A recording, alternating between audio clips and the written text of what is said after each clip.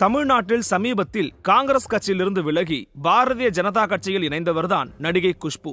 இவர் பாஜகவில் இணைந்ததிலிருந்தே தொடர்ந்து பாஜக நடத்தக்கூடிய கட்சி நிகழ்வுகள் பத்திரிகையாளர்கள் சந்திப்பு கட்சி நடத்தும் போராட்டம் என்று அனைத்திலும் தன்னை ஈடுபடுத்திக் கொண்டு வருகிறார். தற்போது தமிழகம் முழுவதும் பாஜக முன்னெடுத்துள்ள வேலியாத்திரை நிகழ்வுதான் பேசுபொருளாக மாறி இருக்கிறது இந்நிலையில் சென்னையிலிருந்து கடலூருக்கு வேல் யாத்திரையில் பங்கேற்பதற்காக காரில் சென்றிருக்கிறார் குஷ்பு.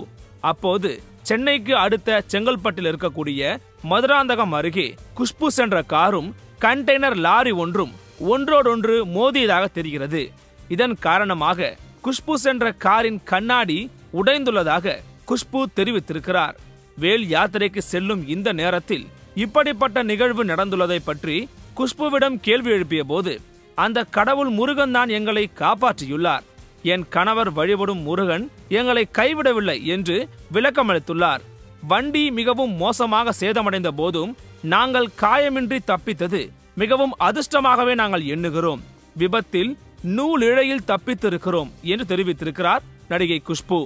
இது எதேச்சியாக நடந்த நிகழ்வா அல்லது வேறு ஏதேனும் பின்னணி உள்ளதா என்று காவல்துறை விசாரித்து வருவதாக தகவல்கள் கிடைத்துள்ளன. தற்போது மீண்டும் வேல் யாத்திரை நிகழ்வில் பங்கெடுக்க போகிறீர்களா என்று கேள்வி எழுப்பிய போது அந்த முருகனே எங்களை காப்பாற்றிவிட்டார்.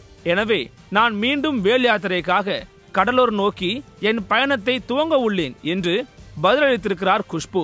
குஷ்புவிற்கு நேரிட்டுள்ள இந்த கார் விபத்து தற்போது பரபரப்பாக சமூக வலைதளங்களில் பேசுபொருளாக மாறியுள்ளது குறிப்பிடத்தக்கது. தமிழகம் தழுவிய அளவில் பாஜக நடத்தி வரக்கூடிய இந்த வேல் யாத்திரைக்கு தமிழ்நாடு அரசு தடை விதித்துள்ளது என்பது குறிப்பிடத்தக்க செய்தி.